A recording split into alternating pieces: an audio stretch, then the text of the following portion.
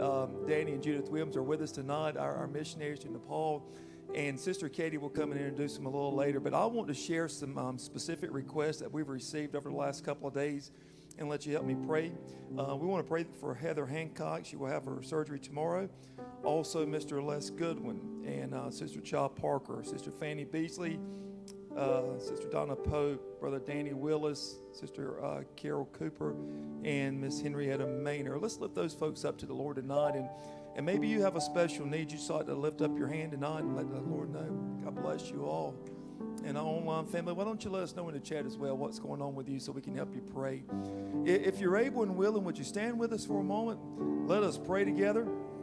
And after this prayer, we're going to sing a song of worship, and Sister Katie will be coming and uh, introducing our speaker. Let's pray. Father, in the mighty name of your Son, Jesus, we are honored and we are so thankful to be able to be in your house, to be able to be here with your people tonight, dear Lord.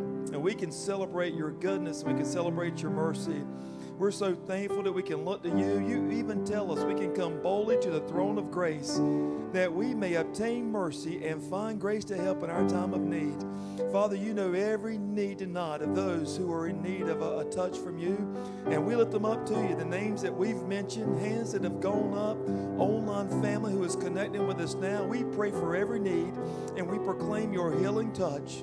In the mighty name of your Son, Jesus, whose stripes we're healed by, we pray for the physical, emotional, and even spiritual healing that's needed tonight here. And Lord, I pray now as we begin to sing songs of praise unto you, that you will be welcome in this place. Lord God, that you would let your presence be sensed here in a very real and a very personal way. I pray that Brother Danny and Sister Judith just feel you in a real way, that they feel your love, they feel your welcome through the people of this church, and they just feel a freedom to minister as you have called them to minister, and we'll all leave changed in your great name. For it's in the name of your Son, Jesus, we pray, and let the church say, Amen. Would you make someone welcome in the house of God tonight?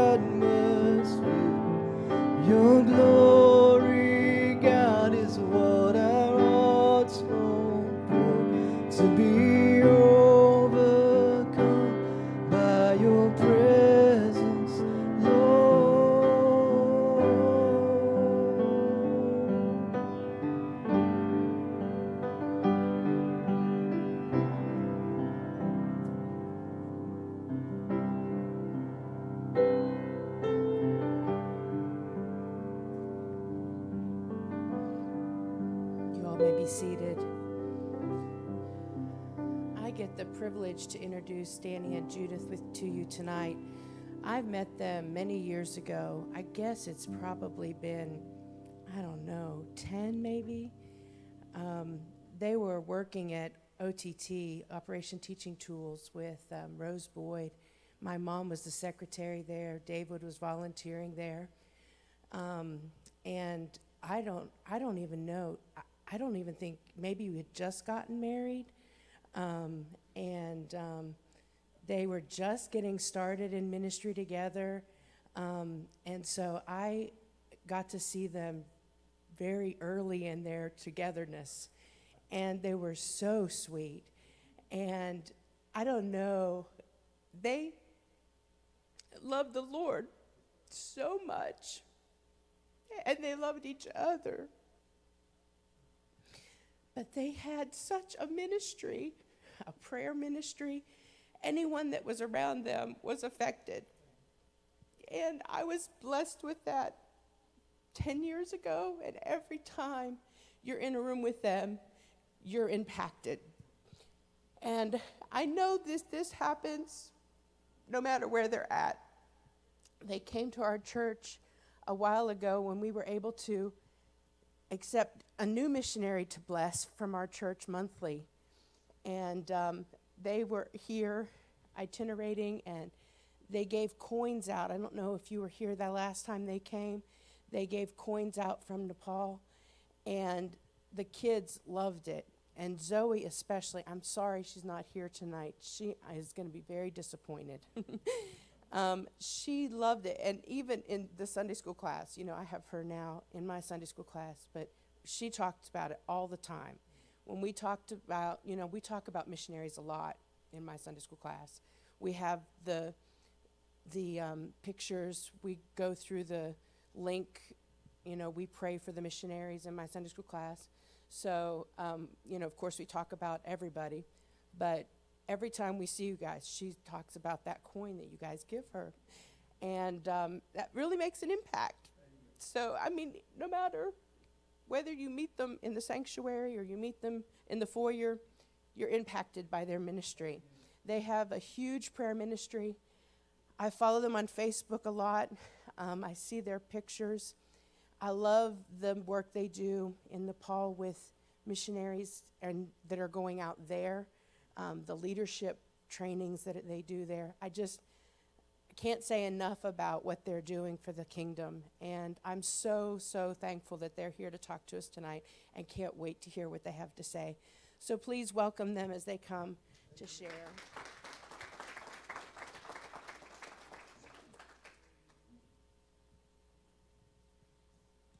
Well, thank you so much, Katie. Uh, how humbling and precious. You know, when um, I was a teenager, my Sunday school teacher was the mission director, and she impacted me for eternity with sharing the very things that you say you're doing with your young people. You never know in your class the next pastor, the next missionary. And God is going to call some of those young people. Thank you for your heart for missions. Well, we're so excited to be here. and We are Danny and Judith Williams.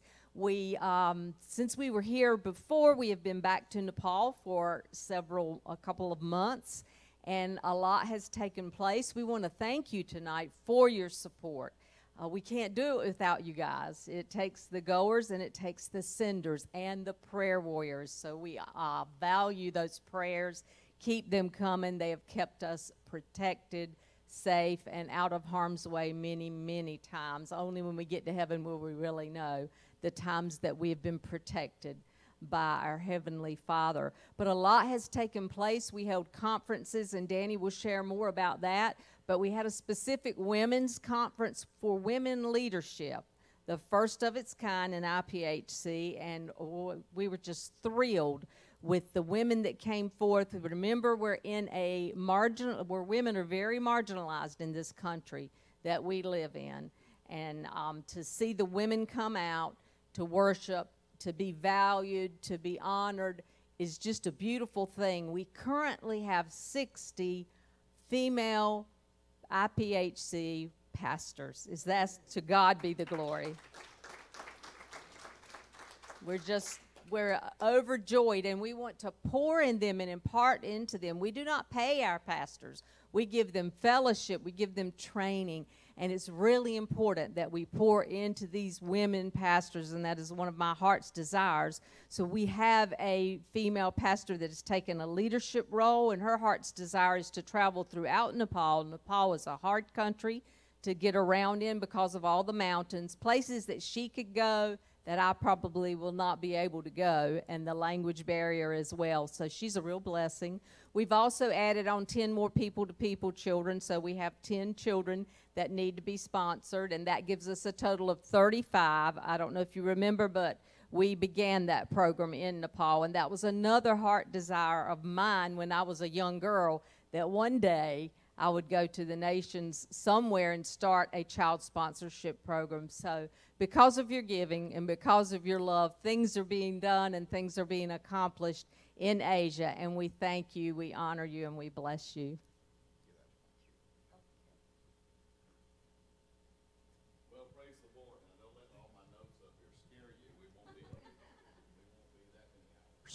Um, but uh, I, I just do some reference. You know, I, there are certain things when you get older that you have that you have to do to help your memory.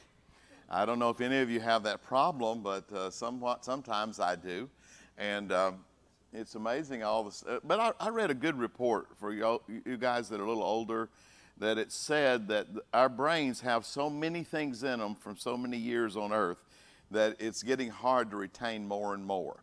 So I, I took I took comfort in that. I took comfort in that. Amen.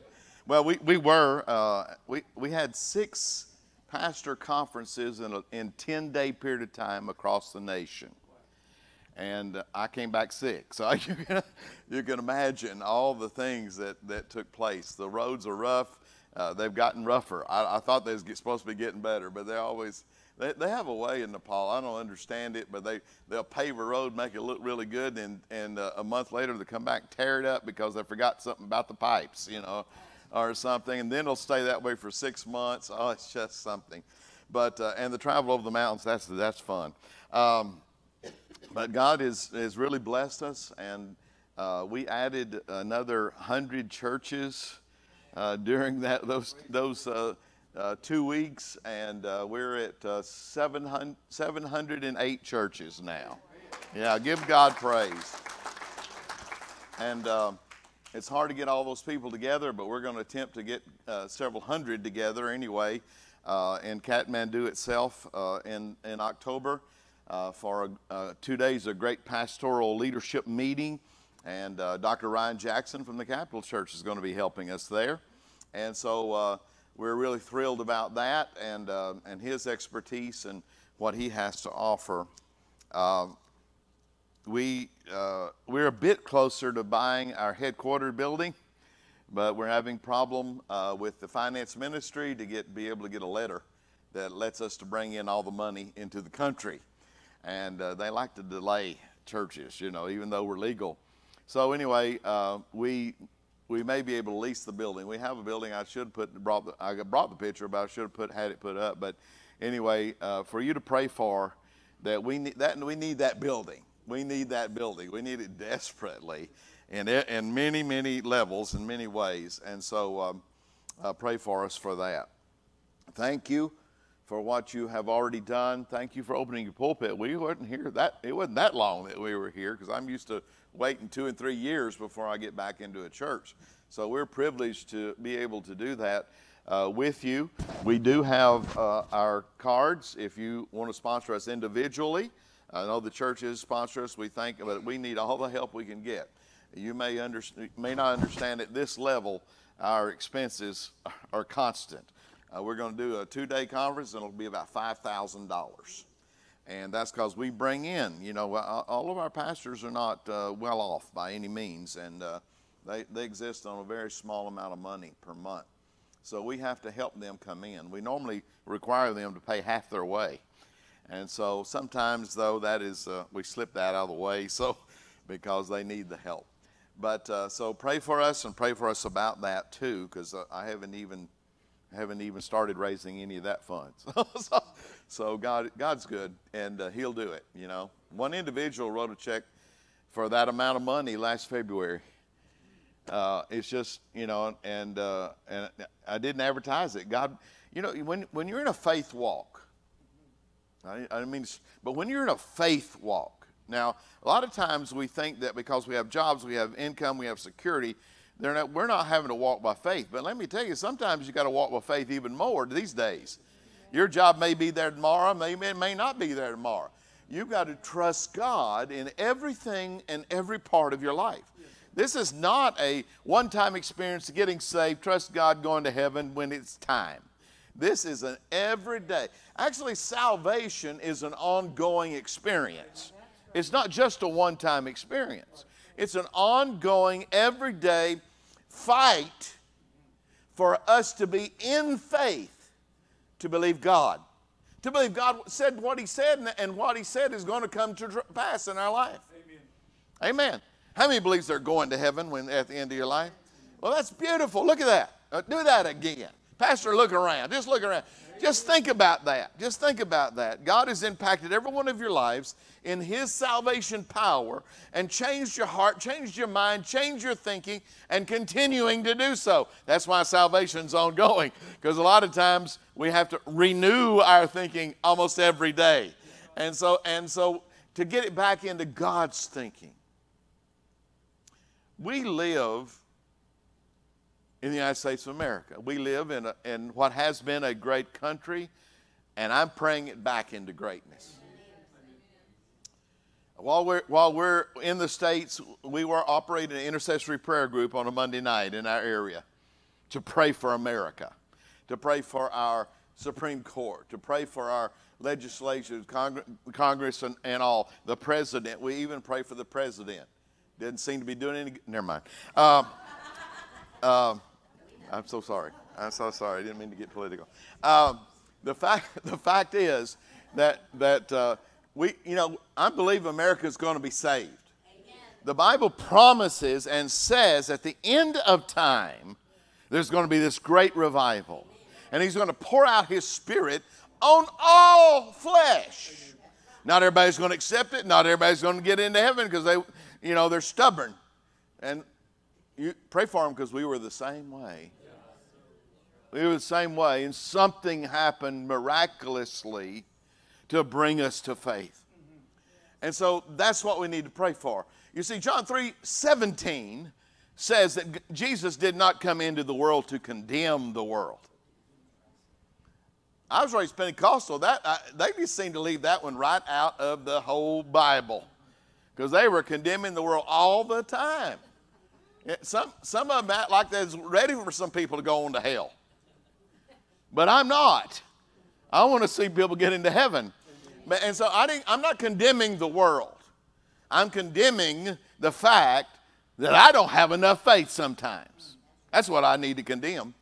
I need to understand that uh, I, I, I, used to, the charismatics would say, if you don't get healed, you don't have enough faith. And I, I always thought, and I was a, I was a charismatic preacher, you know, I, I preached in a lot of different venues, and I always thought, well, maybe you don't have the faith for them. So you got to be careful when you're pointing fingers, especially one finger. You got, you know, you got three back here coming back to at you, and that's true. That's why we got two ears, one mouth. You know, listen twice as much as you talk. Some people don't hadn't got that either. I if you will listen to people when you talk to them, especially about the things of God, and I mean really listen and allow them to talk about their troubles or their problems, the Holy Ghost will get a hold of your hearing and you will hear something that did not come out of their mouth and you'll be able to help them. Not just cliche, not just, you know, the Roman road. That's, that's wonderful. But you'll hear something that'll help them make a step forward.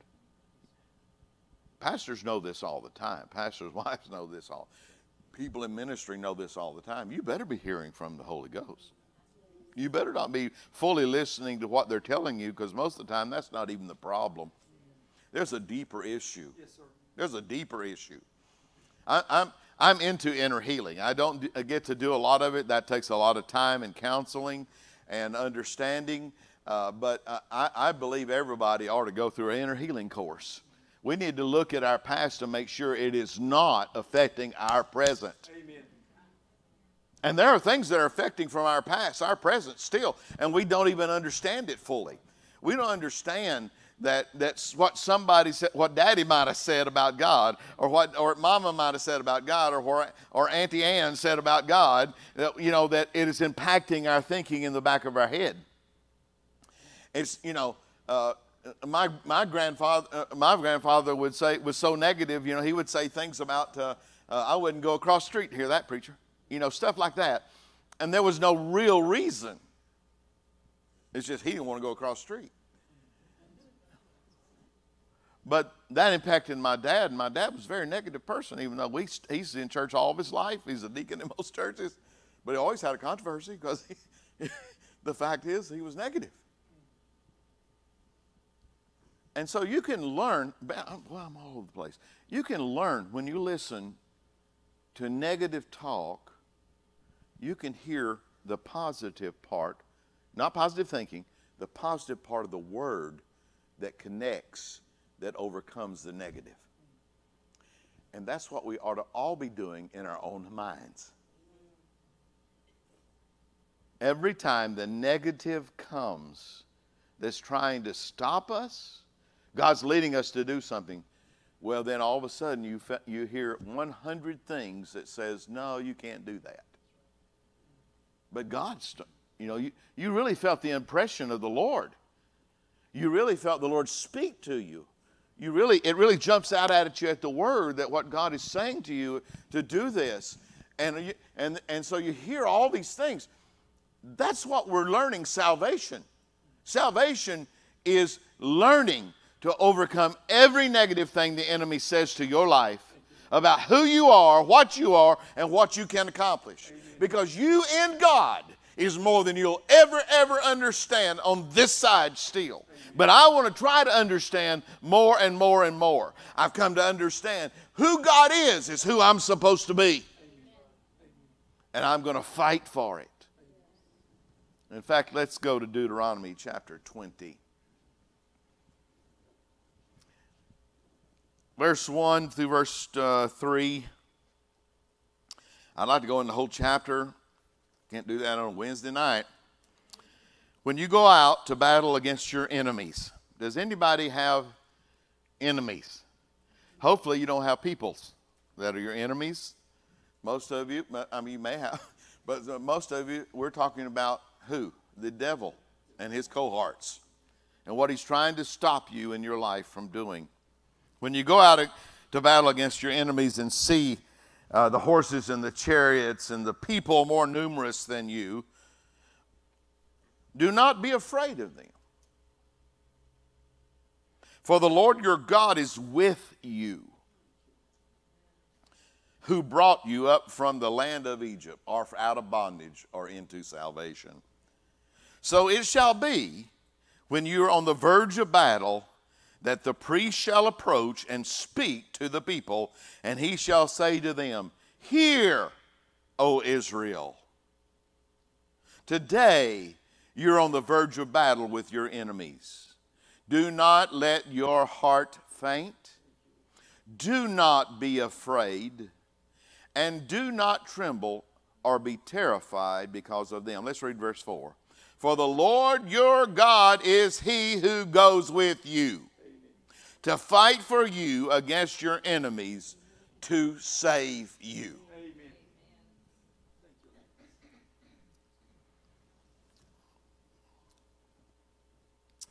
Uh, I've been asked many times, uh, have you ever been threatened? We were asked even that tonight. You ever been threatened?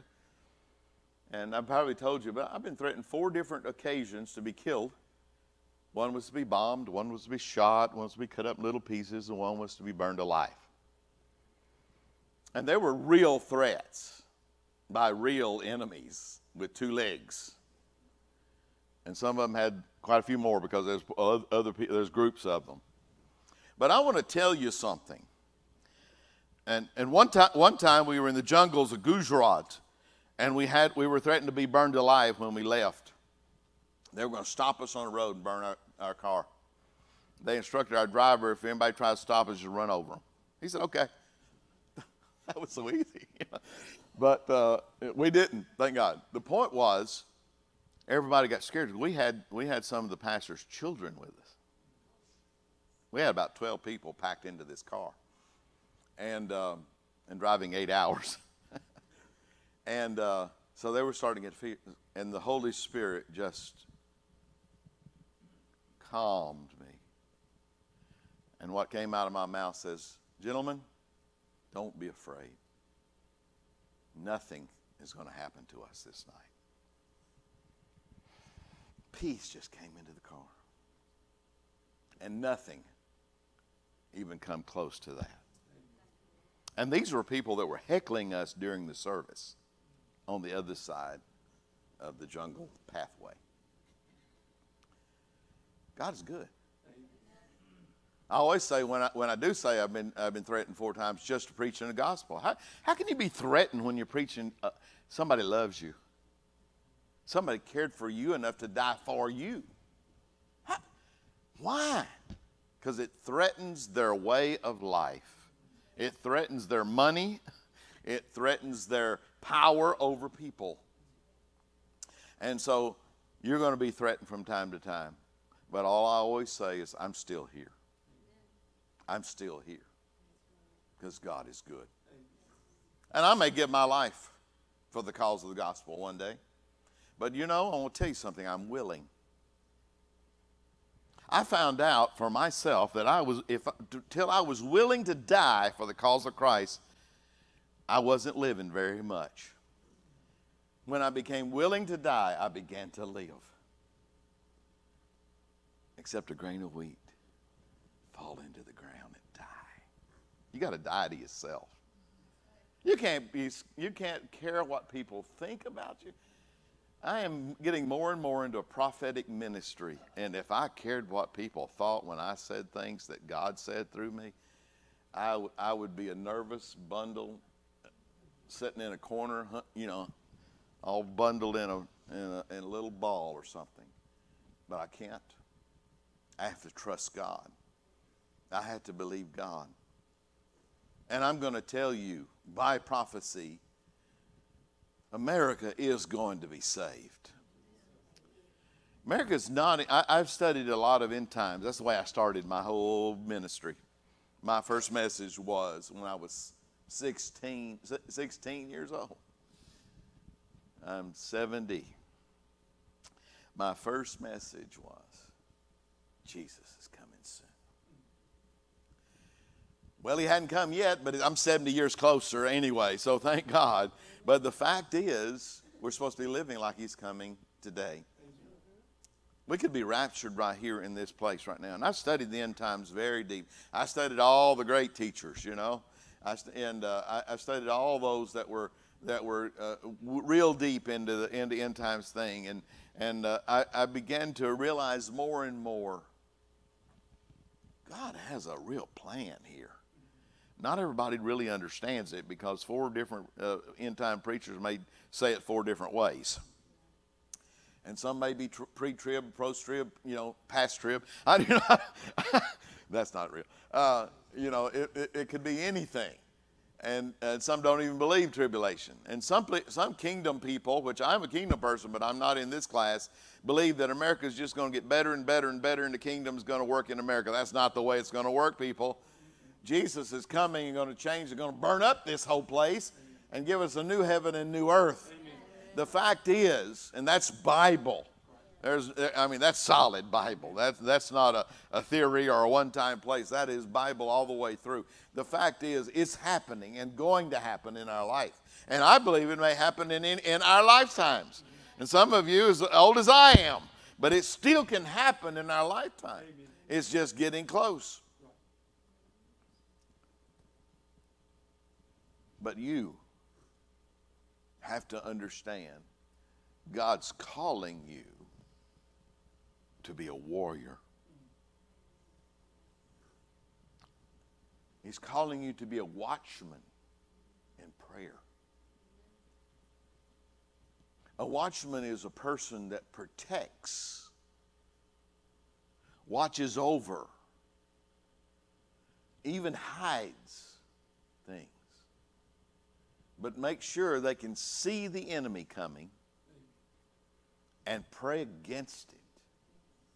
You're, you're supposed to be a watchman for your family. And it's not just a wife or it's not just a husband, it's supposed to be both of you. You're watchmen, but you're warriors. God spoke to me, and I don't know if I said it last time. Sometimes I lose track of what I say in what churches, so you have to excuse me. And if you hear it twice, that's good for you. Uh, my, my mentor missions always said the, the price of knowledge is repetition. So, so if you hear it uh, another time, I guess that's okay. But God, God spoke to me on our prayer journey last year and said to me, I am renaming my people. I said, What? He says, They are now to be called warriors. And he says, and they are now among the warrior clan. And I said, you know, and I said, well, that, that's, that's amazing. And he led me to Deuteronomy 20, which is a warrior chapter. And how God told those that were not engaged in the war and were thinking about home, when they just planted a crop, he said, Go back tend to it. They just got married, he said, Go back and tend to it. You know, uh, uh he was te- he's telling them, Well, that's not the only place that happened. Gideon experienced that too, where his his band went down to 300. And yet God took those that were serious and warriors and overcame a very large contingent of, of enemies. When you get serious, I'm not talking about just living your life normal. I'm not living my life normal. I mean, I, I may do things, you know, I, I may relax and, and watch a, a, a TV program, but I'm not living my life like that all the time. I've got to be engaged in my mind in warfare. I've got to be watching out for my family. And some things I have just refused. The devil's not going to do. That's it. I'm tired of it. I've taken that authority position. You have authority as a believer against the enemy. I don't care how weak you think you are, you still are more powerful than ever devil in hell. The only way is it, the only way you're not is when you start believing his lies. If he's lying to you and say, "Oh, you can't do that, poor little thing." When I first went on live television five nights a week, two hours a night, and I and after I was there one month, they handed me the program when I walked in five minutes before. Live TV. And I looked in the mirror and I said, I can't do this. And God said, Yes, you can. I walked out there. And I did that many, many nights. Didn't know I was going to have it till I walked in. That's why I can do without notes. But the fact is, God's always preparing you for something more. You know, let me tell you, the negative things you've gone through in your life, God's preparing you for something more. The wars that you've gone through in your life, God's preparing you for something more. You're not only go- going to get out of your bondage in your mind, in your heart, in your body, you're going to be able to help others get out of their bondage. And that's why God's training you. It's not just to get to heaven. That's what my, that's what my ancestors thought. You know, God saved me so I can get to heaven. And that was their whole focus. I'm, 95% of the songs we ever sang was about heaven, wasn't it? Wasn't it? Some of you know. Because they, they, didn't, they didn't like life. They wanted, they wanted heaven. But I tell you what, I've accepted life, and sometimes I don't like it, and some things are tough, but you can do it with God. Amen.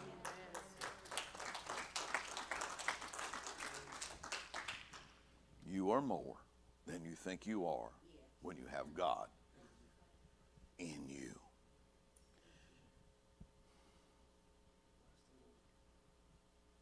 God in you. Boy, a lot of people have trouble with that. Even people that are saved, being sanctified, being baptized in the Holy Ghost, have the trouble with saying that God lives in you. But He does. With His Spirit, He came in. Jesus says, I came to tabernacle with you to dwell with you. To li- it's not dwell outside you, it's to dwell within you. So wherever you go, you've got him with you. You don't have to call on heaven to come down. Heaven already came and it died on the cross. And now his spirit lives in you by his Holy Spirit. He's with you. And he said, I'm not only with you, I'll never leave you. God, don't leave me alone. If I stray, do not leave me alone. Pull me back in. And He has. He has. I've, ne- I've not been perfect in my life. I'm near perfect now. Pray for me. I'm from Texas. We think that anyway. the fact is that to be a warrior, you've got to work toward perfection. You've got to work out of the negative thoughts in your mind and overcome it with the Word of God. The Word of God is very powerful. Sometimes we just don't realize how powerful it is. We, if we could see in the Spirit how our words reverberated in the spirit world when we spoke them, and how the demons just would start shaking and start fleeing because the light is being exposed. The real truth is being exposed. That's why I believe in the prophetic. God exposes the darkness.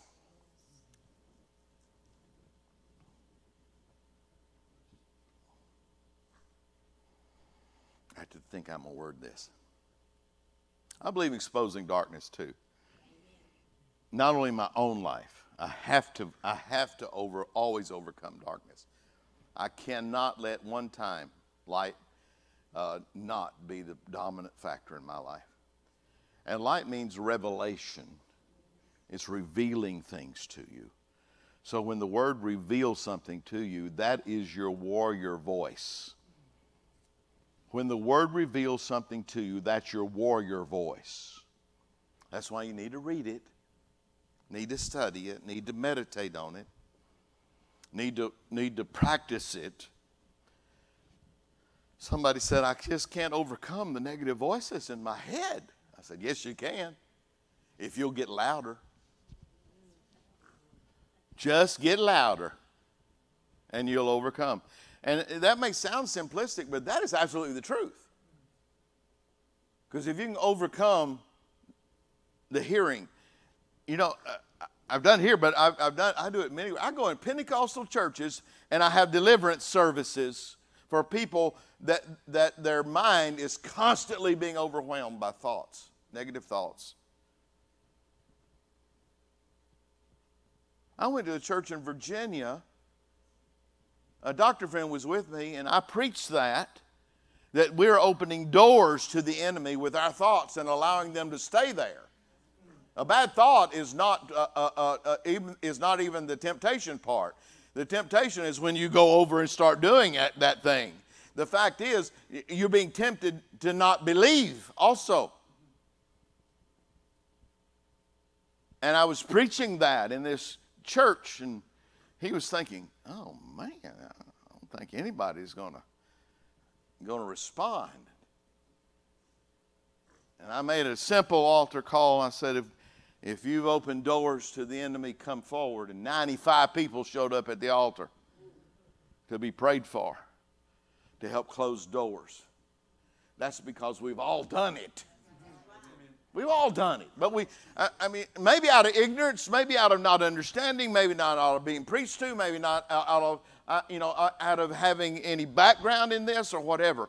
It, it, it may be an innocent doing, but I'm exposing to you every part of the enemy's strategy. He is here and he's planning to bring you down. But he can't. He just can't. That's his thought.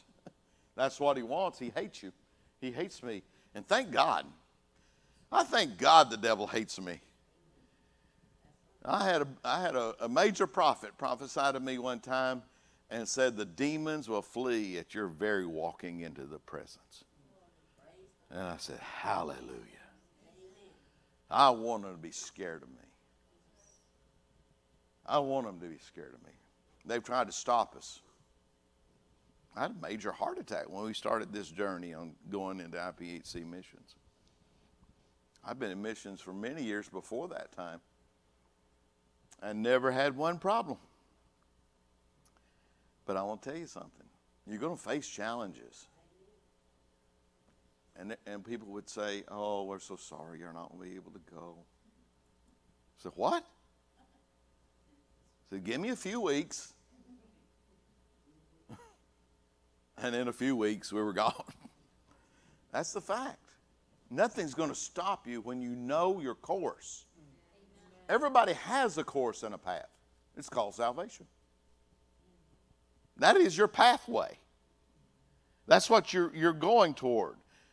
Not everybody's called into major ministries, or not everybody's called in overseas ministries. Not everybody's called to going out of state, doing this and doing that. Not everybody's called to be a teacher, pastor, evangelist. You know, but some of you have that spirit in you.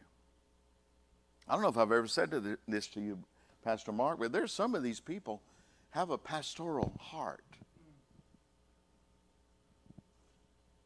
Let them help you.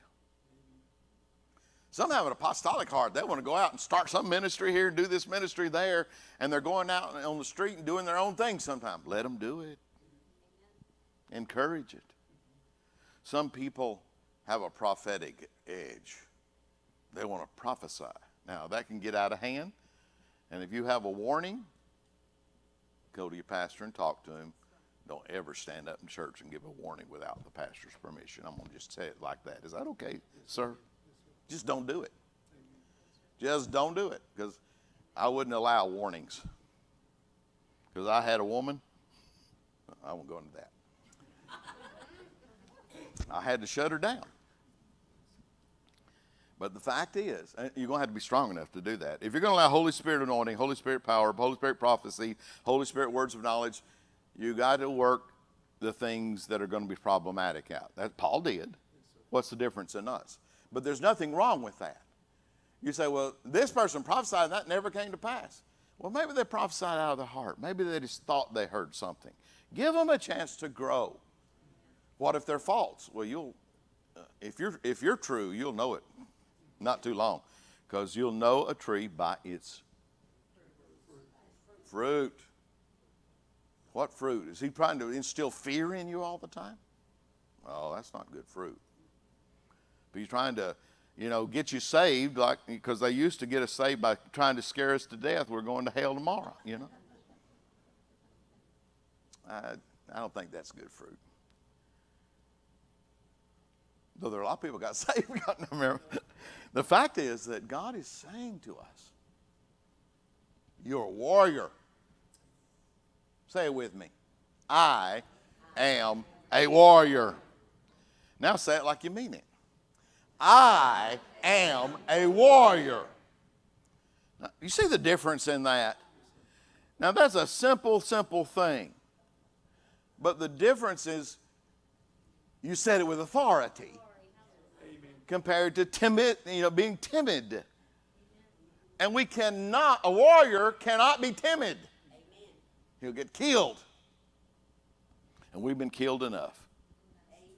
You've been killed in your in in you know in your love for people because you've allowed things to it's destroyed relationships because we've allowed th- things to smash it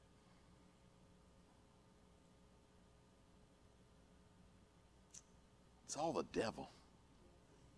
And what he's trying to do in your life. The good thing is, God's got more for you. He's got more for you than you can ever, ever think. He is more interested in helping you grow and become a real warrior than you getting to heaven. Because if you're saved, in my mind, that's fairly automatic. I mean, you can. Some people can stop that from happening. Yeah, they can. They can make some bad, bad choices. So I won't get into that theologically. But the fact is, God wants you to know who you are. Not what your mama said you were, unless it was talking about you're this word right here. That's you right here. Jesus is love. You know, God is love. That's you right there. That, that's you. Pastor Mark, that's you. God is love. Mark, Mark, Mark is love. That's who we are. Power. Sound minds. I had to remind a lot of times the devil I had a sound mind because I was being overwhelmed as a pastor when I was younger. And boy, I was being overwhelmed in every way. I didn't realize it's just simple preparation for what I do now. Just simple preparation. It didn't seem so simple to me. And it seemed very hard. And I had to pray and fast. And I know it doesn't look like I do that much, but I prayed and, and fast and, and seek God and, and try to see what's wrong in my life. You know, what, where I wasn't overcoming in this thing. I had to know how to overcome. You've got to know how to overcome. In fact, Revelations tells us to them that overcome, they shall receive the crown of life. Woo! What does that mean if we're always being defeated in our mind, in our hearts, in our relationships? What does that mean? I don't know the full implication of that. I hope it don't mean what I think it means. But I'd want to see every one of you when we all get to heaven wearing our crowns, and then we'll take them off and throw them at Jesus' feet. Amen. Because it was worth it all. It was worth it all. It is worth it all. It is worth it all. Everything you go through, everything that you don't understand, you will understand. It's worth it all. Amen. And it may take a long time for you to understand certain things, and it's taken and I've taken me a lifetime, and I still don't understand a few things that I that I wrestle with in my life.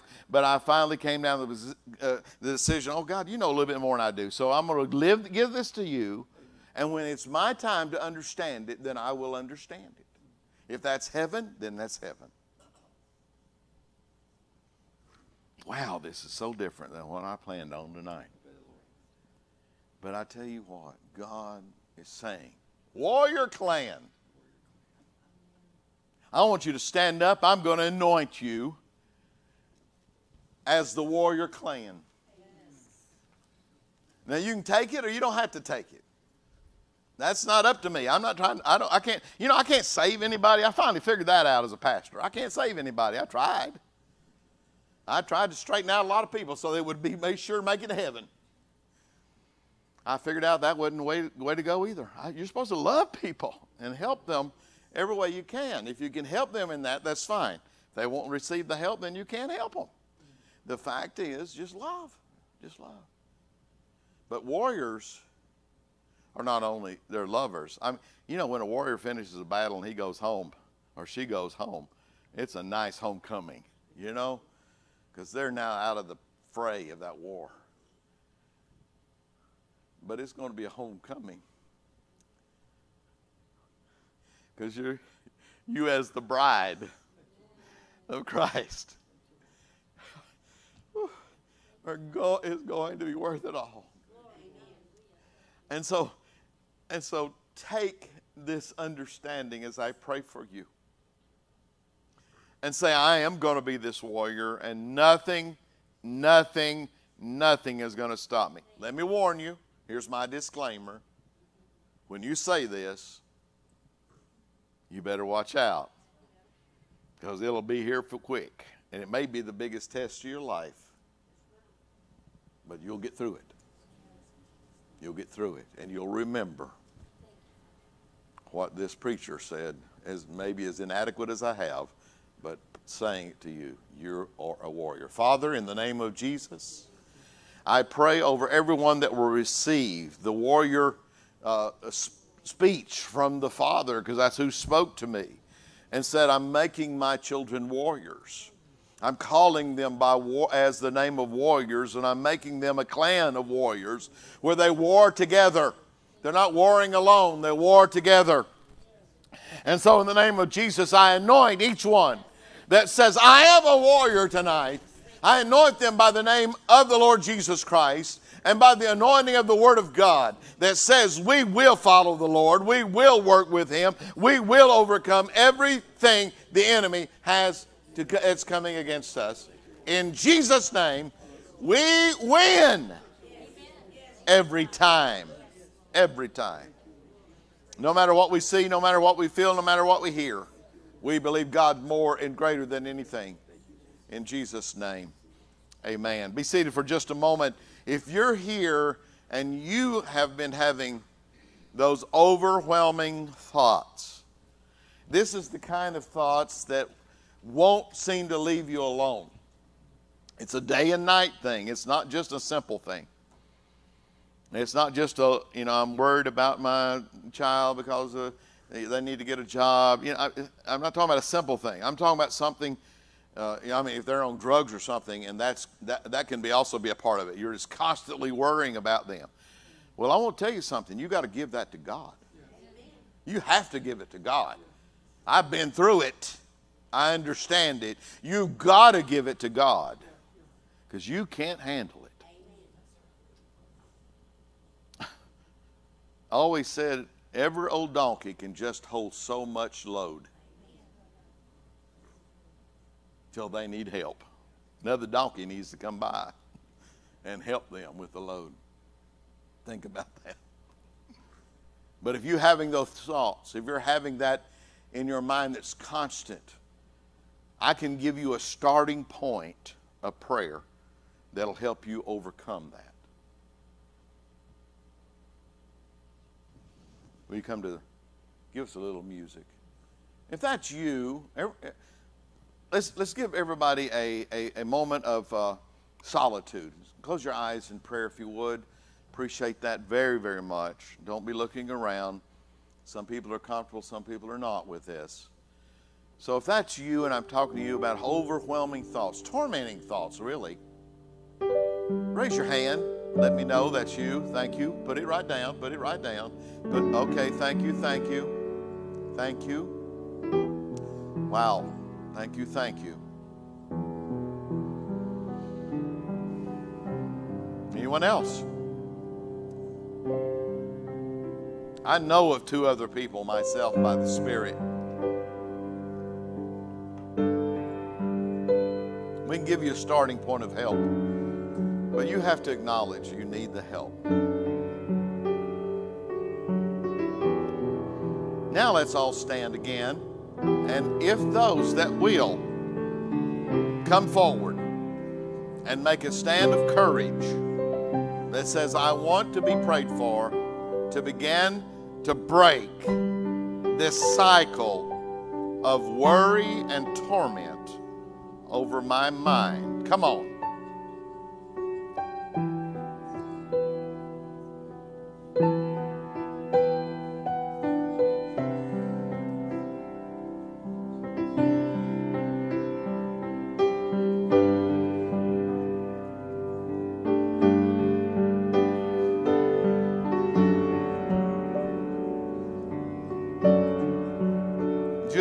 Put your hands on the back of those ladies that come forward.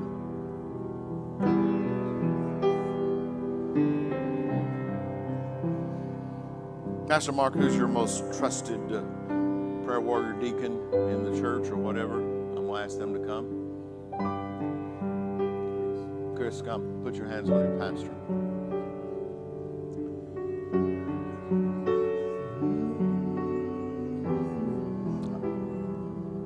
I shouldn't say anything, but I want you to mark it that your pastor walked up here. That's humbling themselves, him himself before God. Most pastors are tempted to act like that they overcome everything easily. But there is no one that overcomes everything easily.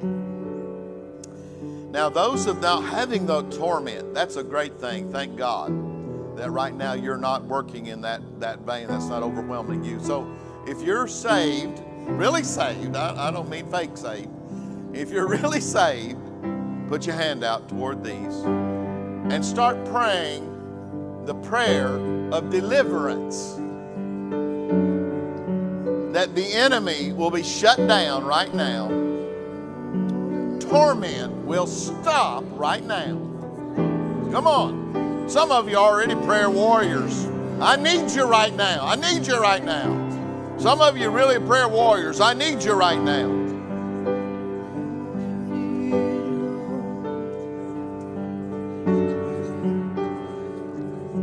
I want just give it a moment. I want everybody up here to also be praying. I want everybody up here to be praying that.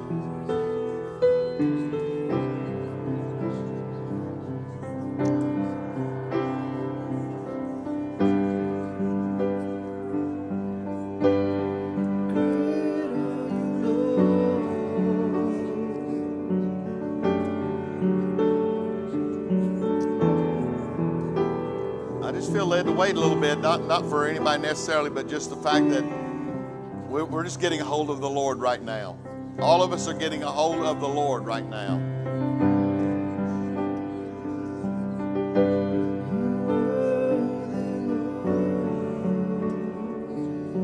Now we're all in this together.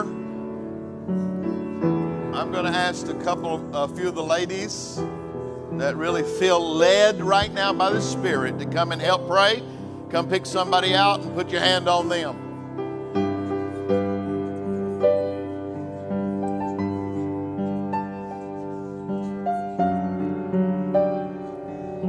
I'm about to let it, I'm about to let this prayer of faith go. It's powerful. It is powerful. I know it is. Powerful prayer of deliverance.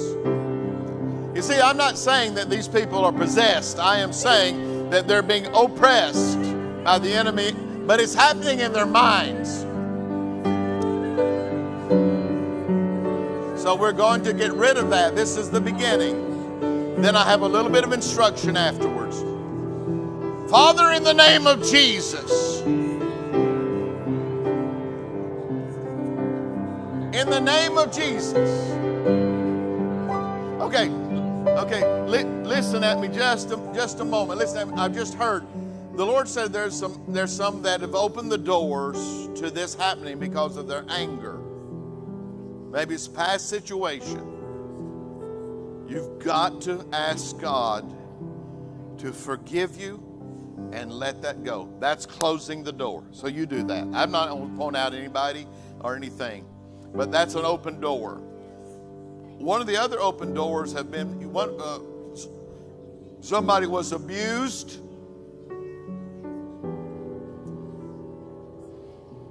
Sexually, somebody's been abused mentally. You were oppressed by some, even there's somebody that's been oppressed by a religious, spiritual person they thought, or you thought, but they oppressed you religiously. Close the door. Say, This is not a religion, this is Jesus' relationship. Close the door right now. Close the door right now. That sexual abuse, that mental abuse, close the door.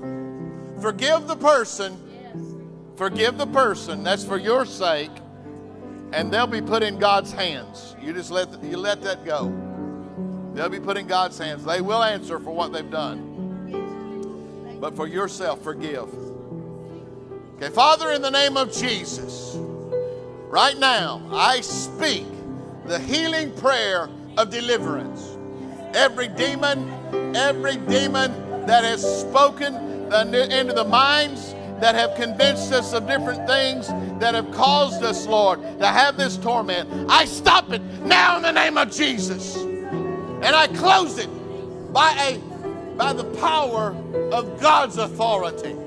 I close it right now. Shut up, devil. Just shut up. That's the end. This is the demarcation mark. We've just crossed over the line. We're not going back. We're not going back. We're not going to allow it anymore. We're not going to allow it anymore. And that's what every one of you now, that's what I'm saying. That's what you ought to be saying. We're not going to allow it anymore. Most of the things you worry about, you can never even change. Most of the things that are tormenting your mind, you can't do anything with it anyway. God's got to do something with it. And you keep praying for Him to do it, but you just let Him have it. Okay, Father, in the name of Jesus, in the name of Jesus, in the name of Jesus. Oh Lord, I anoint. I anoint each one now.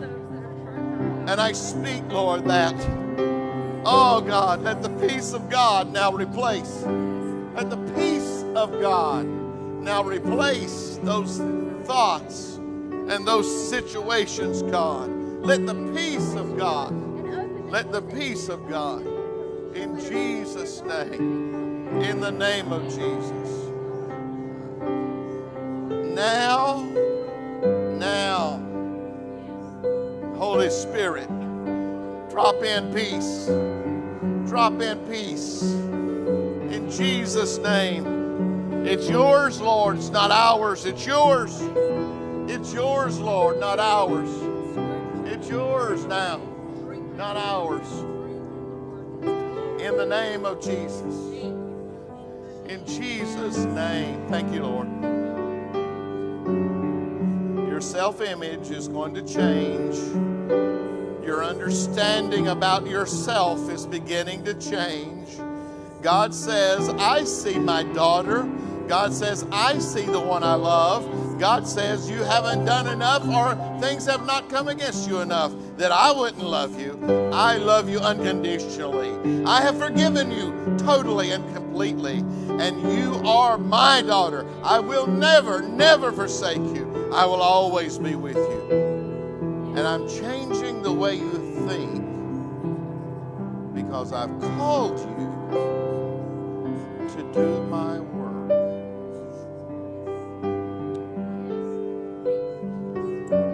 Jesus' name. Jesus' name. Jesus' name. Who else? Who else was up here? You were just praying with him. Okay. All right. Have I anointed everyone that was up here? Did you need to be anointed? Okay, thank you. All right, thank you, Lord. All right.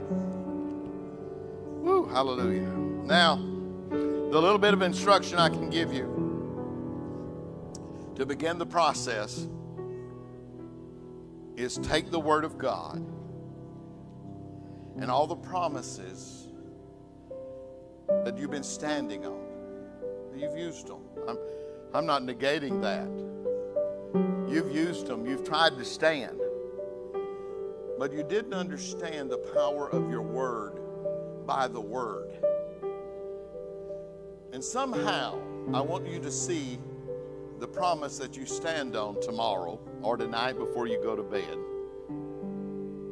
That that promise is linked up with heaven.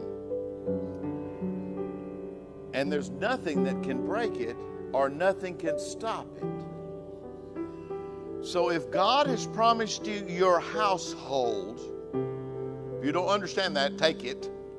But if God has promised you your household, then nothing can break that. And it will happen. You say, but but one of my members they died and we don't know if they went to heaven or hell. Don't you even think about that? God can take one second and make it seem like 10 minutes. Things can take God can take it and change it. All your prayers can culminate in that one second. Don't think anything different. Don't allow anything different. But they were this. Oh, I, no, no, no, no, no. You don't think anything different. Thief on the cross got to paradise because he believed. That last moment. That last moment. That's your first instruction. The rest of the instructions, do it every day. do it all the time, as much as you need to. Speak it out loud. And if you feel timid with it, slap yourself and say, No way! And get it out. Get it out. Speak it out. Speak it out.